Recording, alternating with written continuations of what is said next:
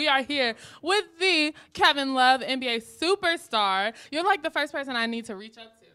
I know. I actually Honestly, had to same. adjust the mic out there. I was on the podium and I actually had to bring it up. I wasn't on an Apple box, but uh, You're so you know, tall. Yeah, just the height kind of So, everybody off. Well, congratulations. What award did you win tonight? Thank you. I won the uh, the Phenom Award, which I haven't. I don't know if I've been called a phenom since since high school. So this is. Uh, I guess you turn 30 years old and your life starts over, but here we are. now what did you do in high school that made you a phenom? I don't know. I was uh, I was a much different person. I didn't have this suit, and I uh, yeah, I looked a uh, a little bit different back then. So I guess I was the ugly duckling who who blossomed into somebody uh, that could dress a little bit better at the very least. But uh, And if this is you blossoming, I mean, you have fully blossomed. I mean, it may be even overly ripe because you're fresh tonight. Okay.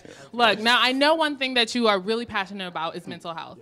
So please speak to us about the importance of that, even if you have to take some time off or do what you have to do to get your mental health right.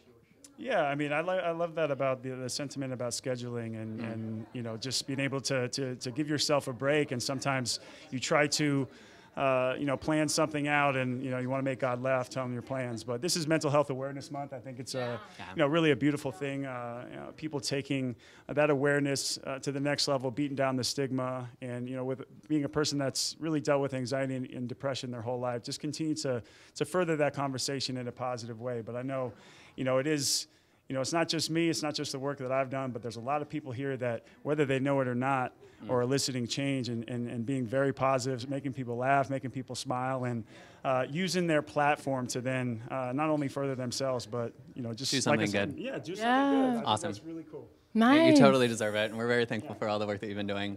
Yeah. And thank you again, and congratulations. Congratulations. All right. See you soon. Thanks, guys.